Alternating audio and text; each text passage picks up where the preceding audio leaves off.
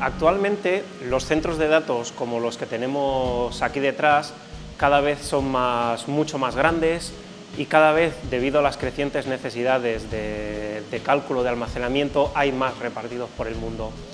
Estos centros de datos consumen muchísima energía, muchísima electricidad. Entonces actualmente mi trabajo se basa en no solo hacer que estos centros de datos consuman menos electricidad, sino que también aprovechar eh, la, la electricidad que viene de las energías renovables, tales como la solar o la eólica.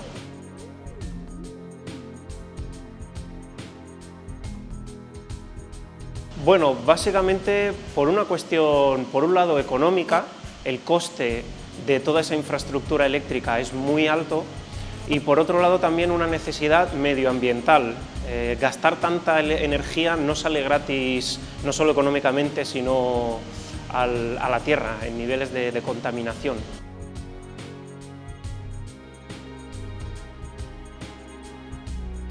Sinceramente no tengo un reto concreto, sí me gustaría que, que todo el esfuerzo que la sociedad pone en, por ejemplo, mi formación y mi trabajo, eh, se le retornara a esta, si puede ser con creces.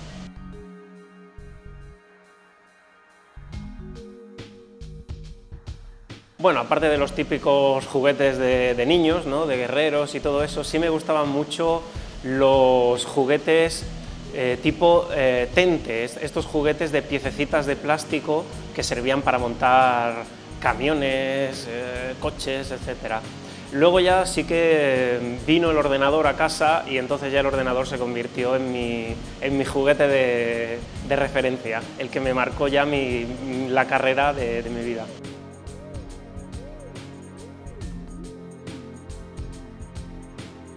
De mayor al principio quería ser dentista, porque yo veía al dentista que ganaba mucho dinero pero luego ya cuando vino el ordenador aprendí a programarlo de, pequeñito, yo ya vi que lo que yo quería, lo que a mí me gustaba, lo que me hacía feliz era programar ordenadores.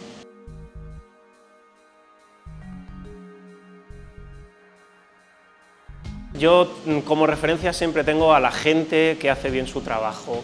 Eh, sí que los que más me llegaron de más jovencito fueron los, más que los científicos, los divulgadores científicos fueron esa gente que a los que a, las personas que no éramos científicas eh, nos hacían llegar un trabajo, nos hacían llegar, bueno, nos hacían sorprendernos con, con lo que era la ciencia. Y a ellos sí que les debo ciertamente mi vocación científica.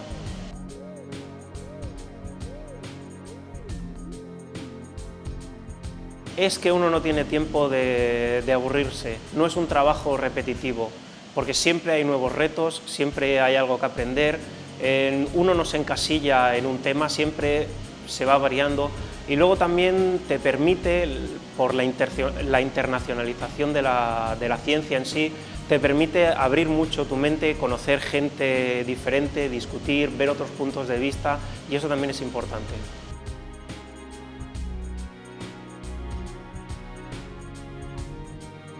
Yo creo que los jóvenes que tengan curiosidad, que no se conformen con entender lo que se ve delante, sino que intenten ir más allá. Eh, eh, la ciencia es un campo muy realizante para, ese tipo de personas.